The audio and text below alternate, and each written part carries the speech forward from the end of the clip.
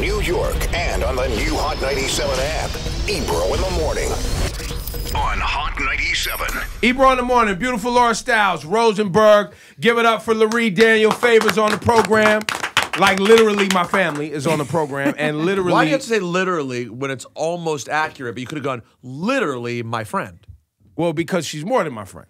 Whoa, what are you trying to say? Meaning she's my like best friend's wife. Ah, so it's family So adjacent. Meaning like she could call me and be like, "Yo, my man, check this out. You fucking up, straighten it out," and I'd have to be like, "Yo, you Right, know right, what? right, You're got I, I don't it. know that I would ever use those words in that way, but I'm. it's possible though. it's possible. It's possible. Um, we, I've spent many years uh, with Lurie on Kwanzaa. Um, her husband is somebody I've known since high school. We were in the R&B group together. Oh Answer. my Yeah, goodness! We got pictures to prove it. Yeah, tomorrow's answer. Yes, That's right. yes, Great indeed. group. Yes, Really Tell her- underrated group. Yo, would you Very tell her much we? so. I mean, they had moves, they had I know. routines. and I yet mean, you feel like no one talks about them. It's, it's not a right. shame. Yeah, it's a it's shame. All the great Music. music, and you just All see the all the great they've made. artists. You know, they just you know they don't we- Isn't there a love. BET Unsung coming There there is, there is. behind the music, Behind- all of that. Yo, we inspired a generation. That's right, I know, I know. Uh, but Lurie is here because um, you are working with the Census 2020. yes, yes. Um, and specifically hyper focused on making sure black folks and Mm-hmm. brown folks understand the impact of not participating. Right. Exactly. And for us, when we say black folks and brown folks, we're really talking about the Pan African diaspora um, because, and it's going to show up really interestingly as it pertains to race on the census. Um, whether you are from the Dominican Republic, Jamaica, Trinidad, um, Ghana, Nigeria, Alabama, Brooklyn, you are all included under that flag that Marcus Garvey was talking about when he talked about the Pan African community. And all of us have a very, very, very um, high risk at not showing up on the census because traditionally we do not for a whole host of reasons. And when we don't show up on the census, we are essentially locking our communities into being underfunded and underpolitically represented for decades at a time. And so it's a major issue. So I want to start right there because I've, I've filled out the census ever since I can remember. Excellent. Um, before it it would say African American on there, I would literally cross it out and I would write in black. Yeah. Just because, and I've done it multiple times with a sharpie. Um, but I never, I still don't understand how that affects money coming into a specific zip code. Right. So it works like this. The entire every single dollar that we get from the government, whether it's for SNAP, WIC, affordable housing programs, college preparation programs, subways, hospital beds, schools, librarians in the schools, um, teachers, everything that you can think of is basically funded based on these formulas that are determined by census count. So what happens is every 10 years, the federal government counts every single person, regardless of your citizenship. They count every single person in the country. And in your community, they take that total population count for your community and they just feed it into the formulas. It's very non-emotional, it's very just mathematic.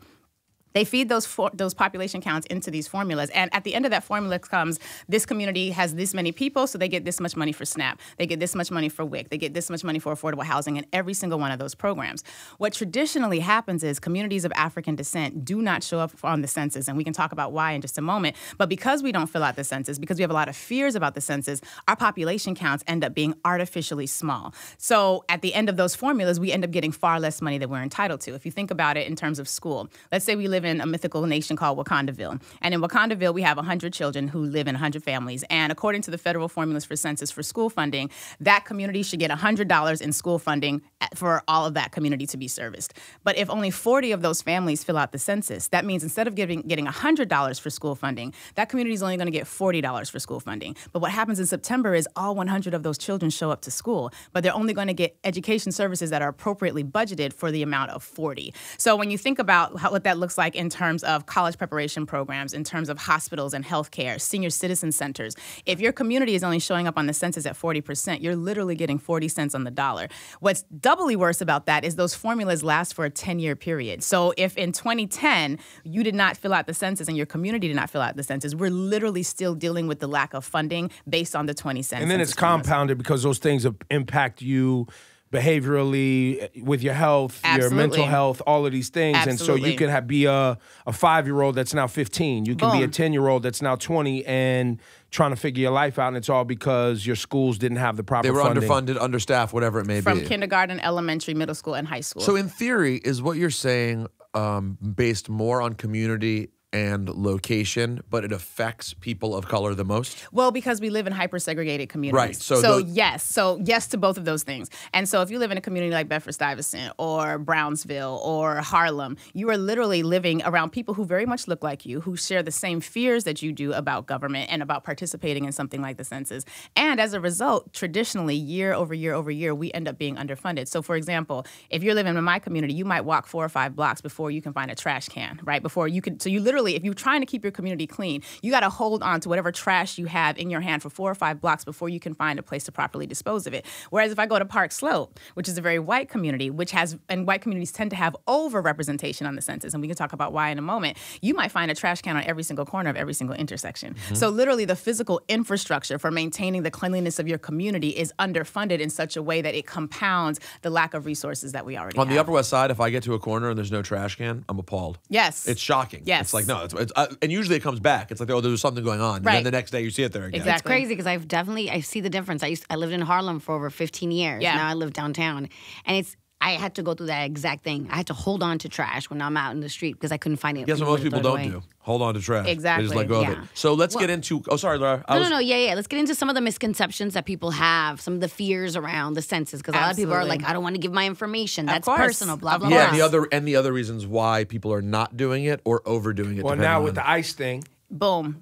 Okay, so we just celebrated 2019, which is the 400 year commemoration of the introduction of enslaving of Afri- enslavement of Africans into this country, right? And we're actually kind of 100 years off because our Latinx brothers and sisters experienced that. They began experiencing that over 100 years before we did. The first enslaved Africans arrived in Hispaniola, which is now Dominican Republic, Haiti, like in the early 1500s, right? So the first time strangers who don't look like us come knocking at our doors asking for information, you open that door, your entire village that night might end up on the bottom of a slave ship. well, that's why black people answer the door the way they do now. Oh, who is it? There you go. Oh, is, oh, is that why? Who is it? Is that why black people get so sensitive about playing on the phone? Don't play on my phone. Don't play on the phone. Play. And if someone shows up at your door and you did not know they were coming, shh. Be quiet. We're not answering the door, and I don't want anybody knowing that we're here. So I remember even as a child, my mother being like, "Who? Like, no, um, be quiet. Turn off the TV. Like, Well, my dad used to scream at the door like he was about to shoot through it. listen." And white people are like, hello, come on, in. who is it? Come on in. Yo, that's Right, crazy though. How deep that goes back. Well, yeah, and but if you think about it, that trauma doesn't end. So like even throughout the course of enslavement, like anyone coming to your door, your your loved one might be stolen away. And even after slavery, you fit a description. Or we all saw, you know, Claudine, where, you know, a man living in the house might mean that you don't get access to social services. So the ability to disrupt who is in the house based on information By is the way, historical. everybody hasn't seen Claudine. And did I just date myself? I think I just dated no, myself. A, you didn't date yourself, but B, people don't even remember that that was a, a movie. Wow. So yeah, so basically, like in the early 1900s, and you know, going into up until the civil rights movement, your ability to get access to social services like food stamps, like healthcare, was contingent on whether or not you had two adults in the house. So if you had a man in the house who might be under or unemployed, they basically would be able to come into your house, investigate who was there, and determine whether or not you were going to get access to those. Now, health mind you, joblessness, uh, getting a job as a black man, even trying to figure it out. So you could be like, just like right now, you could be employed right. and not gainfully employed. Correct. Right. So imagine what that was at the turn of the century America. Sharecropping. Mm. Things like that where people are trying to just figure out how to survive. Right. So they're working and they're spending a ton of time doing it, but they're not making enough. So black money men be- would hide Exactly. so that the mom could get a little extra because he couldn't make extra. Right. Right. And it wasn't enough. Right. Never was enough. And so having our, our families disrupted and interrupted by the state is something that we're used to. And so hiding from the census is sort of the natural outgrowth of that. But what that means is because we don't understand how these systems work and how our communities are funded, which makes sense. We only got the right to register to vote without being lynched for it, like in 1965. So if you know somebody who's like 56 or older, they're, they're literally older than integration. And it didn't stop there. It didn't stop there.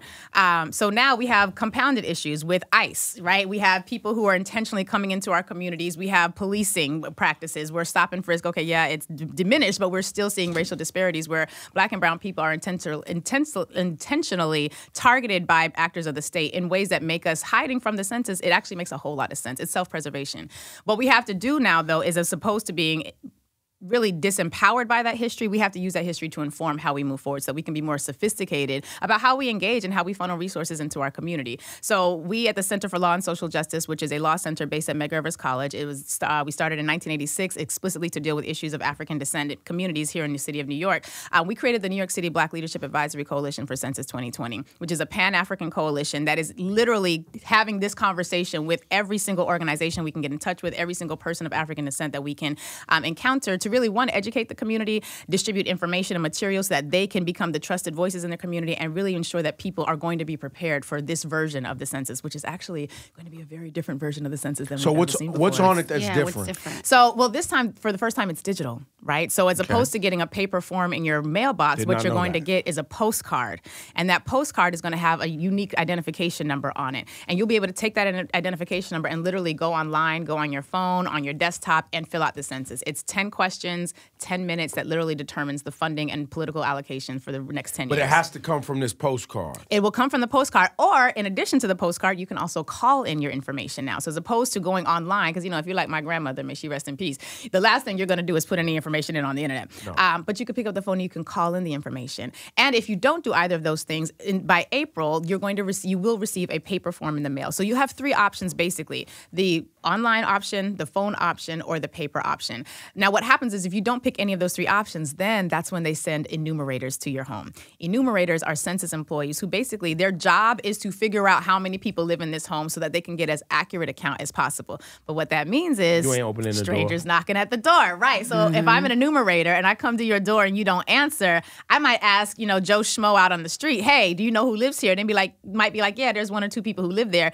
Meanwhile, it's you, your cousins, your aunties, three children, and two grandparents or elders who need access to services. But because you didn't take one of the three options ahead of time to fill out the census, you basically are cutting yourself out of political fun, political Well, and power also and too for the people out there that are willing to fill out uh, what is it called, like IQ surveys and put Mm-hmm. in all your behavior on the internet or like photos on Facebook, but you're afraid to actually fill out this information. You're playing yourself, Right. Or Because you they already on have your behavior, your zip code, Well, where you giving you- shop. if you've shopped on Amazon, they have your zip code. Exactly. If you've done any sort of liking of your friends, whatever, they know who you are and who your friends are. If you post photos of your children, guess what?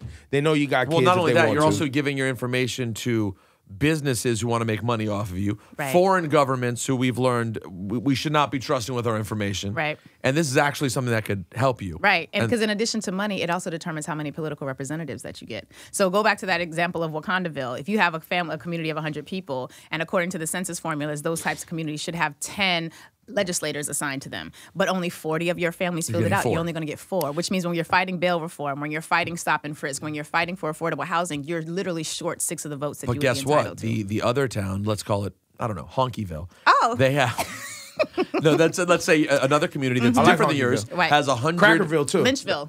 I've seen Lynch- there's a, there's literally a Lynchville. Lynchburg. Lynchburg. Lynchburg. Right. There's plenty right, of right, those. Right, so so that community has a hundred, and they're and they're fully involved in the census. Well, now they have ten representatives to your four. So forget getting across uh, electing the official or getting across the legislation that you care about when the other views are going to be more represented. And Lynchburg actually is probably going to have 100 plus because Lynchburg tends to overrepresent. so what does because- overrepresented mean? How does So it happen? let's imagine we have a. a Liars. Why would you lie though? no, but they count Because you're a liar. everyone. Do we have to do this the again? Why would you lie? All right. Because you're a liar and you've lied forever. But why but would you the lie about a census census? is per so household. or because you per know you're going to get more money. Both. Who knows, Ebro? Now, now I think All you're right. overstating. Now you're overstating. I think the evil in this. You think the regular average person's like the same way. I think that people in uh, communities of color are uninformed about the census. I would imagine a lot of what I've never heard a word about the census in my entire life. But there's a I feel like people are just nerdy and diligent about doing it and Right. don't mind doing it. Right. No, but Ebro's point is they're like, let's get extra representatives. Yes. I don't. Who's doing that? Well, it's a different Liars. cultural relationship, right? so just like I said, that 400 year history of, of African American people and African descendant people participating in the census is based on fear of government. In white communities, the fear is not there. Correct. Because white communities know that when the government passed the Homestead Act, like in the 17 and 1800s, after they cleared the entire west of Native American people, indigenous people, they basically told white families, hey, go out west. You can have five acres. You can set up a house. You can set up a farm. We're going to turn you into landowners and homeowners overnight. This is like the first instance of affirmative action. And so they know that when grandpa came back from the war, he got to use all his GI benefits. He got to use all his veteran affairs benefits. So the relationship between white communities and government is such that it is one that we will happily or more freely give over information because we are clear that when we give over information, good things come to us. So the historical and the cultural relationship is very different. But in that Lynchburg community, not only are mom and dad going to count all of the children because they're not going to worry about the children who they're taking care of, who may not actually be theirs, who they do or do not claim on taxes. They're going to count all of the grandparents because they're not worried about having to convince grandma and grandpa about being included. They're going to count all the uncles, all the aunties. They're going to pick up the phone and call Junior and Juniorette, who's away at college, and remind them to fill out the census. And then, oh, we have a summer home. I'm going to make sure that I'm also counted in my summer home because I am clear that when I participate, benefits come to me. Forgot and about so the summer home forgot hustle. about the summer home. So But that would be for a different community. So you're being counted in two communities. and Mm. making sure that your privilege and power follow you wherever so which you may go. wow. Yeah. It's deep, see? Yeah. That's Lurie. No, this is this is big talk. I mean, I've never had talk. a sense, census talk like this. And I would think though. Well, you guys were looking at me sideways because I've been talking. Wait, I've been talking on the radio for how, what the census. Yo, the census is coming, man. We got to talk about the census, census, Well, census. I would still argue that I the, uh, that the biggest disparity just comes down to the basic lack of trust from one community Yeah. and over trust from another community. I'm not saying there aren't other people in this category you just described, Mm-hmm. but I think the probably the predominant thing is that white people are just like, oh, sure, I don't care. Right. Take yeah, it for all. sure. But Yeah. the same thing happens with radio ratings. Yes, correct. We, we Same have- thing happens with any type of survey. Any type of survey adversely affects the communities that we speak to the most, which is why it's harder for our ratings to be as high as they possibly. And it all possibly. comes down to stop playing on my phone. Who would have thought that? We made it. We did a bit once on the air of uh, prank calling random black people to see how they would respond to a prank phone call.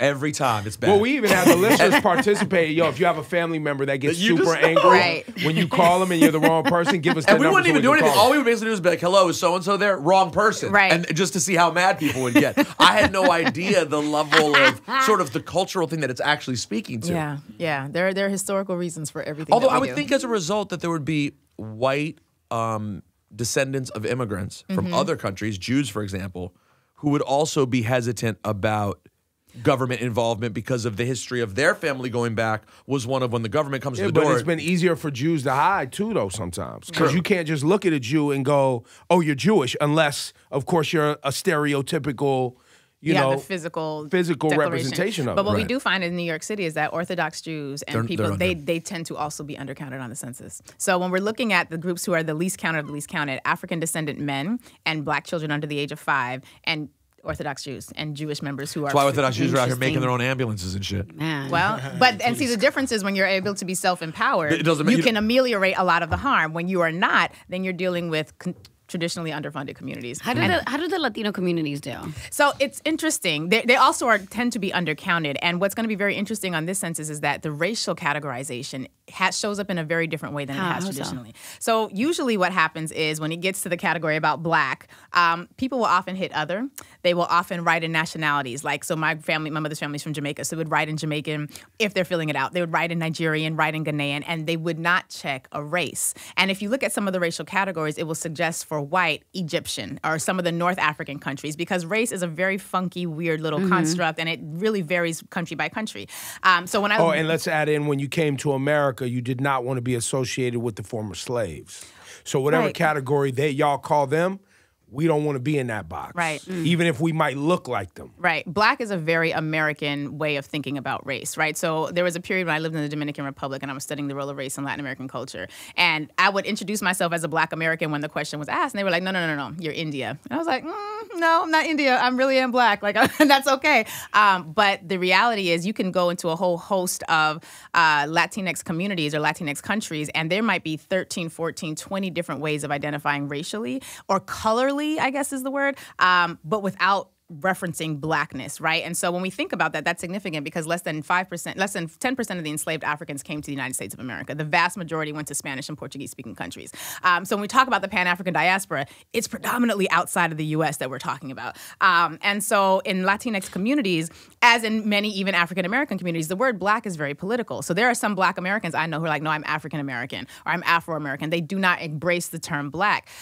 However, the challenge is that Dominican, Nigerian, Puerto Rican, Ghanaian, Trinidadian, those are not protected racial categories. So on the census, if all you do is identifying as a nationality, you are essentially removing your community from the protections that come See, with black people been trying to tell y'all to ride with us. Mhm. y'all want to come in and act like you something else. We told you you was black. They gonna think you black. You black. So what we tell people is listen, the census is not the place for you to have this internal struggle about how you identify, right? Like if you are Dominican, but you are constantly mistaken as a black American. If you are Nigerian and you are always seen as a black American because phenotypically your exterior looks black, how we would define it in this country, this is not the place to have some internal dialogue about how I'm really not black, I'm this, that, or the other. Listen, when it comes to policing, when it comes to healthcare, when it comes to the issues black. that matter, you are black. Sickle cell infects black communities pan Pan African. Uh, prostate cancer, hypertension, diabetes impacts black communities regardless of nationality. So, right the first time on the 2020 census, you won't have to choose. African descendant communities will be able to do both, write in nationality and indicate race, which is significant because what we're saying is listen, Write in Dominican, write in Ghanaian, write it, write, Your take your nation, your 23 and read down, me. your culture, Put your that. nation down, do whatever you got to do. Your Yoruba, boom, put it down. But on the next question for race, you have got to check black. Because when it, if I'm the Center for Disease Control and I have money for sickle cell, I have money for prostate cancer, diseases that are ravaging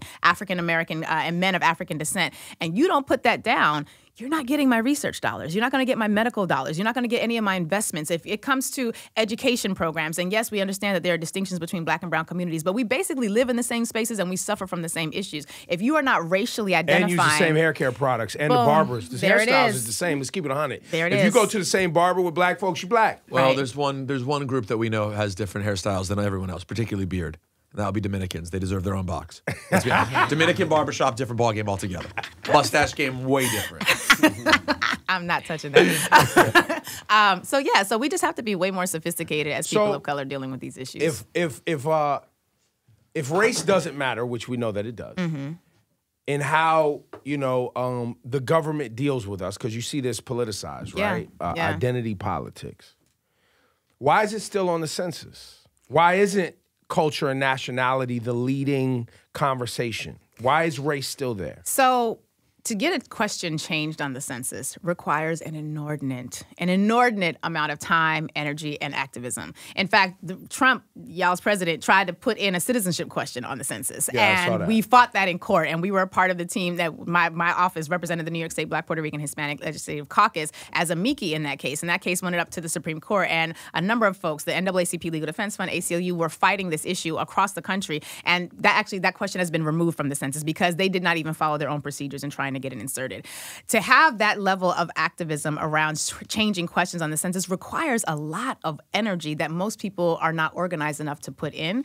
And then we have to think about how race shows up in this country. So we don't typically deal with people based on culture. We deal with people based on race. We have culture. We have protections that are afforded based on race. America has a very weird, and I would not even say good, but a very weird way of dealing with its racial history. And so having Well, it's because race is in the history. Race is- Jim race Crow is is, the in history. the history. Exactly. Your complexion is in the history. Yeah. Your your appearance is a part of how they dealt with you in history. Exactly. Back It's to the the foundation. Homestead it's Act. the foundation of the country, too. Right, right. Absolutely. So I think what we have to ask is, as opposed to how come these questions or other questions aren't on the census, how do we take what we have and make it work for us? How do we make sure that we are engaged? We need the hip hop community to be talking about this, and particularly because we are all afraid of filling out this information. We need people to recognize that come March 12th, when those postcards start hitting your mailbox, pick up your phone, dial it in.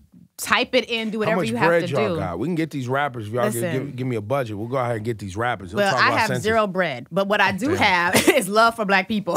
so what I need our community to recognize is that basically ain't nobody coming to save us, right? And so all the issues that we have are compounded by having we're talking almost 700 billion dollars every single year is distributed based on these Mm. formulas. So when we don't show up, we literally leave money on the table that other communities get to scoop up. We leave political representation on the table that other communities get to scoop up. So we are it's like we're going into battle with two hands and one leg tied behind our back. So you don't work for the government. No, no. Sorry, did I, I didn't say, Um, But say that. well, no, but the reason I say that is because we have been asked to have Griff who from the census. Oh, um, the director of the New York Census. I, I Jeff forget- Baylor. It's a female. I have to find her name. Okay. a woman. But the reason I wanted to make sure you came first so that we had a more granular, uh, ethnically specific conversation. Because I got to imagine that when they come in from the government, it's going to be a much more Right. Broad. Right. broad, generic. Right. We really need black and Latinos to participate convo, Right. but not getting into the The history who, what, and the- when, and why of Exactly. it. Right. Kathleen Daniel, the field director. Oh, okay. So she's worked with the city of New York, and she, yeah, so she will have that. She will have that. Kathleen wonderf- Daniel. Yeah, she'll have that conversation, and it will be very uh, government appropriate. Got it. Um, you watch Super Tuesday. You've been paying attention to the Mm-hmm. Landscape. You're very Yeah. Mm-hmm. vocal on social media with regard to uh, progressive ideas. Are, are you a Bernie Elizabeth No, Warren? I was actually a very strong. I've wanted Elizabeth Warren to run for office since she created the Consumer Financial Protection Bureau. Before she was even any any elected position, I had a feeling that her her approach to issues. She's very smart. I feel like she's one of the smartest candidates that they have. She has a racial justice analysis um, that centers not just equity but racial justice equity. Um, so I was sad to see the outcome yesterday, but I recognize that people of African descent are voting in ways that they think are going to produce the best outcomes. And quite frankly, we do not trust uh, white Americans to vote in a way that's going to benefit. well, based our on how white women show, and men showed up for Trump. the stats don't lie. So, um, we all he's a big uh, Warren endorser. He went out and said you officially endorsed Warren. Well, I did it too late. I should have done it a month ago, but I, it took me a while to get there. I, I loved her the whole time. Didn't know she was for me till a few days ago. And I was like, no, no, it's her. Right. And I didn't really realize it was going to be so over so fast. I thought she could really last longer. I thought she would last. Is she done? Is it official? no, but But practically, right? It's not looking So, so. and we all think she's the smartest, Yeah. plan, detail, whatever. But, she's we always woman, knew it would be a challenge because of sexism Right, in America, right? exactly, exactly. Um, and you know, I like Bernie. Um, I'm not. I'm a registered independent, so Mm-hmm. I kind of kick back and wait for people to figure it out, and then I'm cool because I think it's all shenanigans at that level. Mm. Uh, oftentimes, I'm more of a proponent of local. Right. Voting and participating. Got it. But um, why why so much love for Biden I don't think in it was Southern America? Well, one, I think you had the endorsement of several key figures who have civil rights history credibility that was going to sway people who were already leaning that way. Clyburn black- in South Carolina. I mean, he him coming out, I think that was like raising Lazarus from the dead. Like he was able to endorse Biden at a time that I think a lot of people were questioning. But I think that what we're seeing is that overwhelmingly we already knew older African Americans were not going to be veering too far away from the Biden category. Um, and he has a lot of history there. Um, I think that people were voting because they knew that if a progressive were, if Elizabeth Warren did get, go forward, if a Bernie did go forward, there are not enough white people who are willing to risk that. Um, I think we were voting, our communities basically were voting based on listen, what is realistic, what's going to cause the least harm, and what's going to put us as close as we need to removing the current occupant of the White House. So they went So it- it's an interesting thought too, because we've been talking about progressives and and and how we feel, but you know, and, and a lot of people feel, and I think you feel this way to some extent, that to not go forward is to go backwards, and to mm. and to try to just go back to Joe Biden to normalize things mm-hmm. is not real progress. But being but being uber progressive, let's be honest, there's a lot of privilege in that too. There is. being like, no, I want to change the world now. It's like there are a lot of people who are just like, we need this to end Yeah. and get our feet settled. And I think you're probably right. A lot of people felt that anyone else, these other white people, are not going to go out Now, and support Bernie and we'll get lost. And so Bernie- Biden's the safest bet. He can grab those people and Yeah. maybe we'll It's have a still, it's far from over. And Bernie won California and Colorado. Right. Right. Right. Um, you know, I, I keep reminding people that you know Wisconsin, Michigan, Pennsylvania. I know Florida's up for grabs, and people are concerned because you got to win that. But is there a scenario where a president can get to the White House without winning Florida, but picking up Wisconsin, Michigan, California, Pennsylvania? if you get the rest of them, Yeah, no. If you get all You those do a other clear ones, sweep. yeah. If you get if you get Wisconsin, Michigan, Pennsylvania, you'll be fine. But I think at the end of the day, whether you are progressive or you were just enticed by progressive ideas, what's really going to be incumbent upon our communities to do is to engage in the on the ground work, right? So it's not just about the presidency, although the presidency is significant because, as I've said before, presidents pick judges and they install those judges for a lifetime of And right positions. now, if you don't get Trump up out of there, he's about to. We could we got locked. Ruth Bader Ginsburg and the other liberal who are very, very old. Right, and Sonia Sotomayor cannot be there by herself. Yeah. Um, I Well, pray it'd be a protection, 7-2 all of them. swing. Basically, we can literally be reinterpreted back into slavery. I don't know why people are not clear about this. Like judicial interpretations are significant, but in addition to that, we also need to make sure that the Senate and people are actively engaged in who their senators are, who their their uh, their House of Representatives uh, are, and, and what their local government looks like. So here in the state of New York, we have recognized that we don't have, for example, the Voting Rights Act anymore. Or essentially, uh, has been gutted by the Supreme Court. Um, but on the state level, there is legislation now pending to have a state Voting Rights Act, and so we have to be way more engaged uh, on the ground level in a way that doesn't just say I voted and that's it, but recognizing that the vote is like maybe step seven of a ten-step process of going from an issue to a solution to having that solution implemented. And the vote really is important, but I feel like sometimes we put so much energy in focusing on that that we forget the rest of civic engagement. We need people to be attending your local school board meetings, attending your local city council meetings, making sure that when people in Albany or your state capital are about to vote on something, that you are organizing your community not just to be reactionary, but to have you know your own solutions and say, no, this is what we want. We oftentimes will say, well, what's your black agenda or what's your Latino agenda? No, here's the agenda that we came up with, and we are hiring you to implement that agenda. So we have to really switch the way we engage with elected officials. We often have a um, Here's what we need you to do when we Right. give you this job. here are the five things on our list, only one of which but is a lot of people don't even realize that that's what they're doing when they're voting. right, They don't even realize that they're giving someone a job. right. But it's also complicated because there are other groups who also are hiring that same person for the job. Yeah. And thus we have Barack Obama's presidency and most people's Mm-hmm. presidency of here, here he's not the black president, he's the president. Right. And he's got to look out for you and he's got to look out for you and he's got to do the best he can. But there are communities who, under Barack Obama, were able to effectuate their agenda. So if you look at the LGBT community, Mm. for example, they had an agenda. They did not say, What are you going to do for us? They said, Here is what you're going to do for us. And they were able to go down several items And on at least their get list some of them. and got some of them. Right. Many in the African descendant community, because again, we just got the right to register to vote in 1965 without facing bodily harm. all the way there. But it's not there yet. It's coming. And so I think that as we engage more, as we have a lot more progressive groups, that we have a lot more groups that are thinking about how to be more um, critical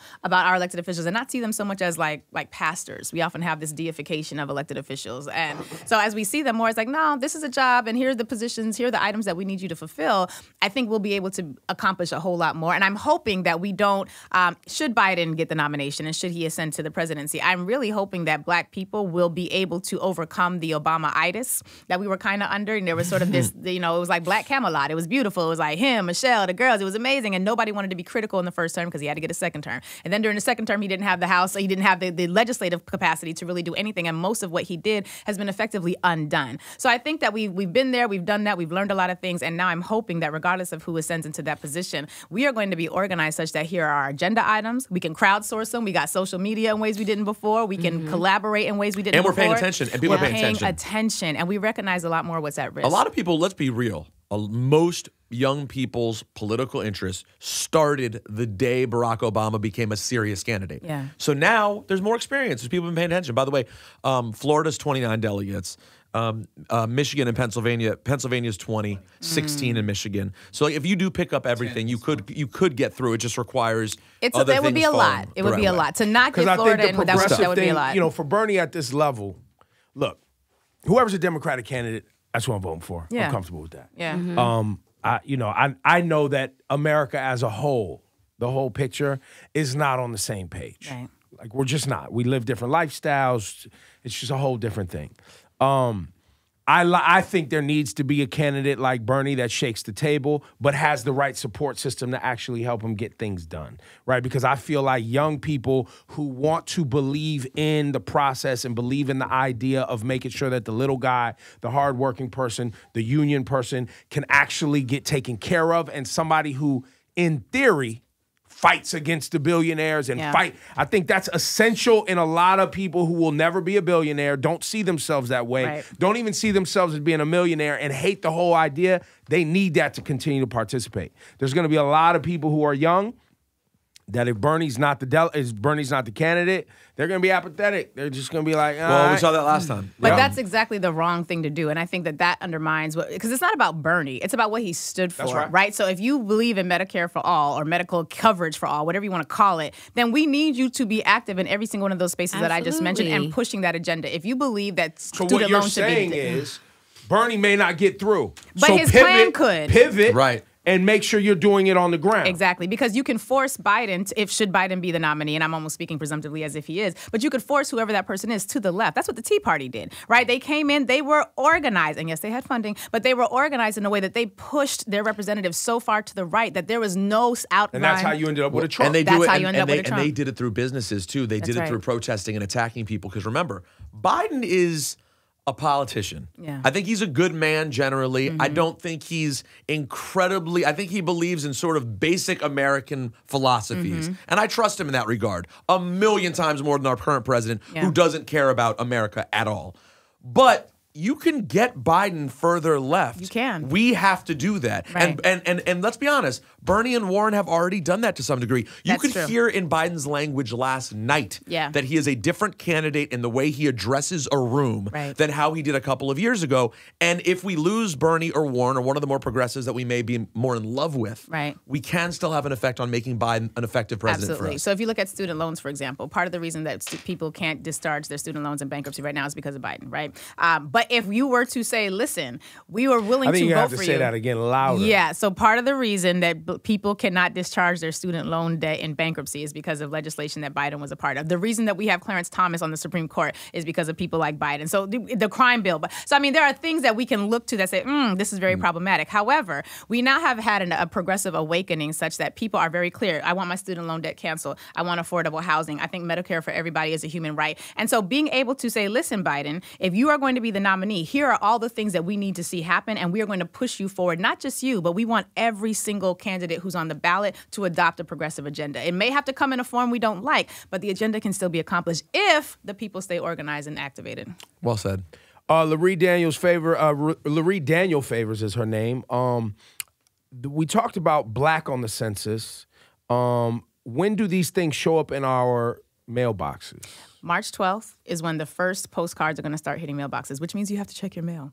And I know because I represented people of African descent that we often don't check our mail, which is how we miss summonses and we miss a whole lot of other things. Can you skip have the mail and just go online and do it? You can go online and you can look up your information based on your address. Um, However, we must be clear that the census has been severely underfunded to the extent that it's operating on a budget that was less than what they had to work with in 2010. That is intentional. That's And they because of want it y'all's to be president. broken. They want it to be broken because it is in the benefit. There are a lot of people who do not want black and brown communities showing up on the census. It is to their Which is the benefit. same way they don't want them to to. vote, which is why in Texas they're waiting seven hours to vote. Yeah, I was yesterday. going to ask about voter suppression really quickly because I've seen more and more articles and people actually exposing it. I mean, we've seen it over and Yeah. Over and Brooklyn. Yeah. over again. Yeah. Right? What can we do So- about voter suppression besides like voicing our opinions on social media? Well, and that's a great start, but it really is just sort of uh, screaming into the void on some level. I'd mentioned earlier that we no longer have the Voting Rights Act the way that we had the 1965 Voting Rights Act, and the last election we had was the first election that did not have the protections of a Voting Rights Act. So if we had had the Voting Rights Act in place, all of the poll changes and closures that we see happening in Texas would have had to have been approved and cleared by the Department of Justice.